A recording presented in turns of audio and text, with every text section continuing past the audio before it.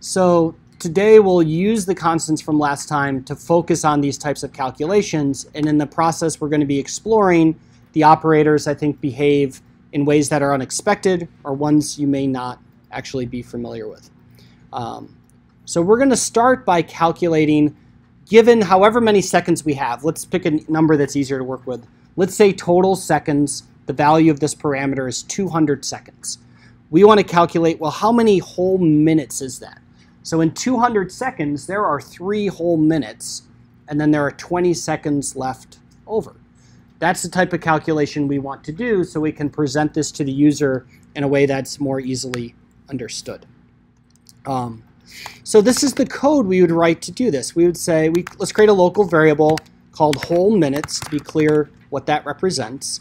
We would take the total seconds and we would divide it by the constant we previously created, seconds for every minute. However, this division may not behave the way we would expect it to. So let's add a comment above this, slash star enter, and explain what we're doing here. We're actually performing here in Java what is referred to as integer division. And Java distinguishes between integer division and floating point division. So let's define that and look at some examples. So what we're accomplishing here is we are using integer division to calculate how many whole minutes are in the specified number of seconds.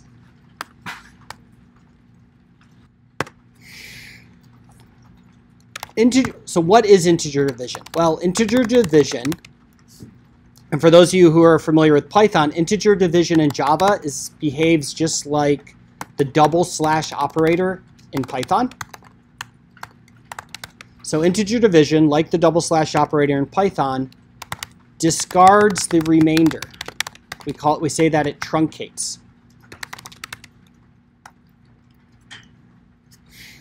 So if we get a value of 3.974, it discards that remainder. It returns the value 3, truncates it, does not round, throws out the entire decimal portion. Um, unfortunately, unlike Python, which has two different symbols for integer versus floating point division, Java only has one symbol. And so the behavior is based on the types of the operands. And that's part of what makes this um, unexpected. So Java does integer division when both operands oper, operands are integer types. By integer types, usually we're talking about int, but it includes long, short, byte, all of those. Java does floating point division when one or both operands are floating point types. By floating point types, I mean floats and doubles.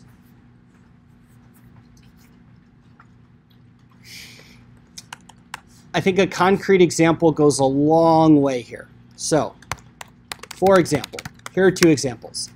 If we have 3 divided by 4, that evaluates to 0. That's the integer division. Because 3 and 4 are int literals. So because both operands are integer types, 3 is an int literal, 4 is an int literal. Integer division is done. 3 divided by 4 is 0.75. We don't round it, we truncate it. We throw out the 0.75 and we return 0. That may be very unexpected, and honestly, this leads to a lot of bugs. Um, on the AP multiple choice, they love to try to trip you up by throwing integer division into questions and see if you catch that it's integer division and not floating point division. Now, if we actually wanted to do 3 divided by 4 and end up with a result of 0.75, one or both of the operands has to be floating point types. So if we typed 3.0 divided by 4, that will evaluate to 0.75. Because 3.0 is a double literal.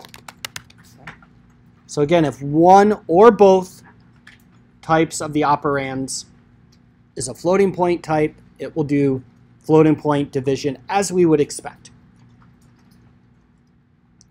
Where we get into trouble is when we happen to be dealing with integers, but we really want floating point division.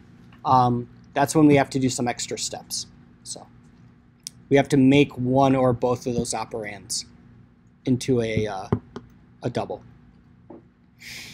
But in some cases, integer division is actually super useful. If we want the number of whole minutes, this calculates that. We don't want the fractional part. Um, we want the number of whole minutes.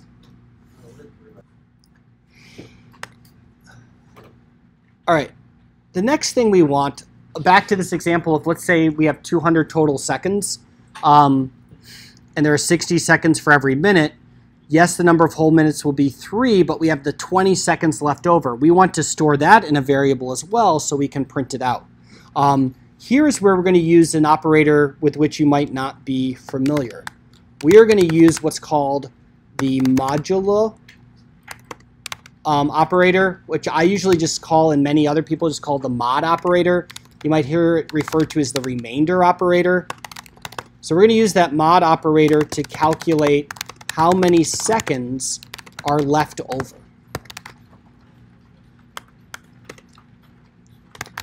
The mod operator, which is the percent symbol, so that's going to take some getting used to, it returns the remainder of the division operation. And by remainder, I don't mean like a fractional part. I don't mean point like 3, 3. I mean that if you think about doing old school by hand division, and you end up with a quotient and you have a remainder. So 200 divided by 60 is 3 remainder 20, right? Think about when you used to do division like that. This operator returns 20.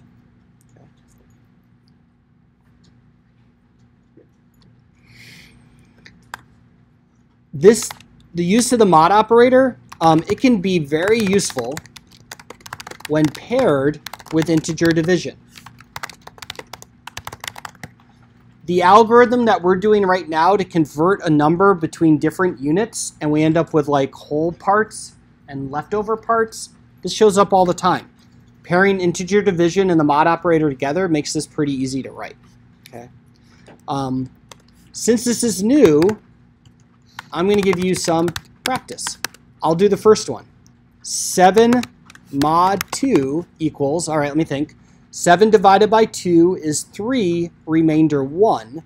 So 7 mod 2 returns or evaluates to 1. You are going to do the next three. 11 mod 3 evaluates to fill in the question mark.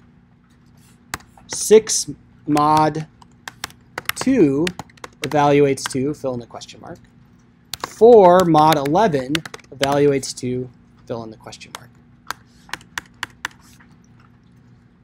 So 11 mod 3. Okay, 11 divided by 3 is 3 remainder 2.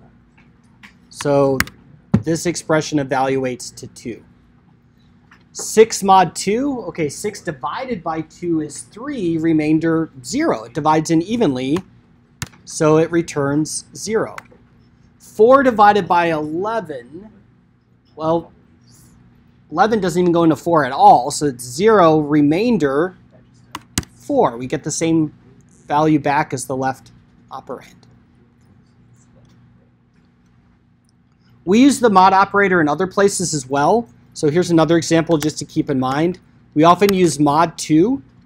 Um, it is frequently frequently used to test for odd even. So what I mean by that is if we do mod some number mod 2, if that number is odd, it evaluates to 1.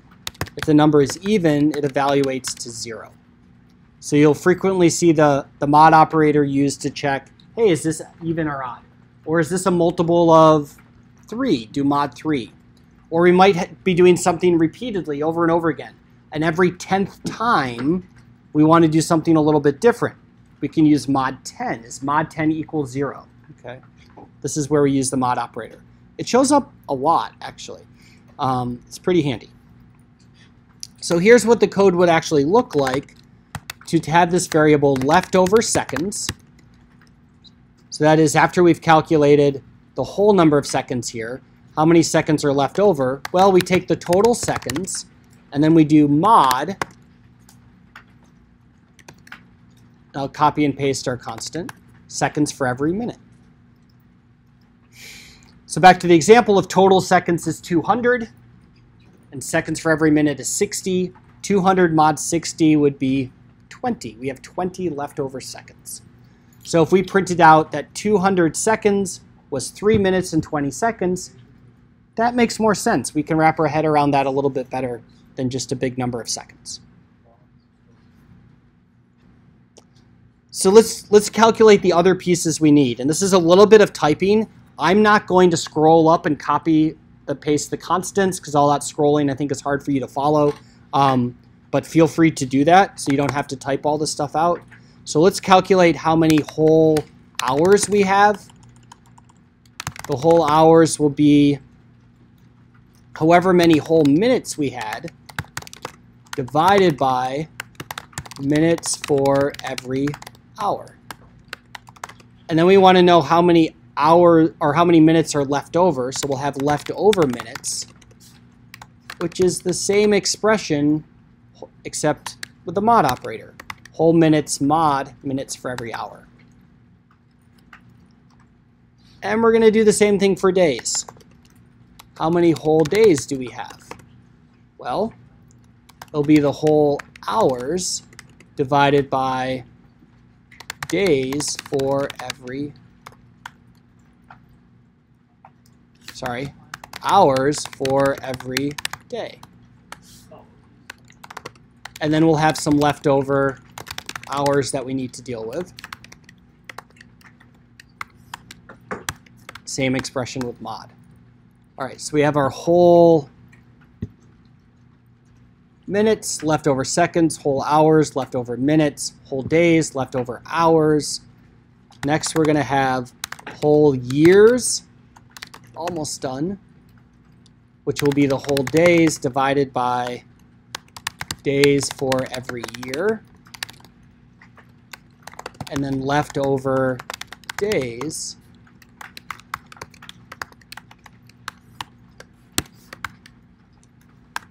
Poof.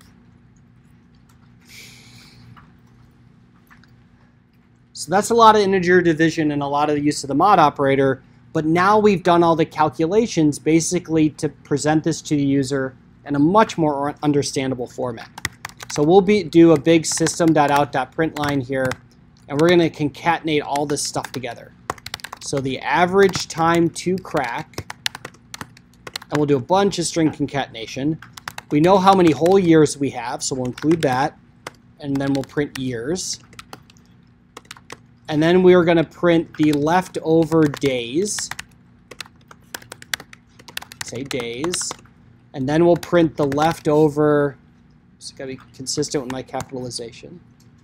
We'll then print the leftover hours, and print hours, and then the leftover minutes, print minutes, oh my, and then the leftover seconds, and print seconds.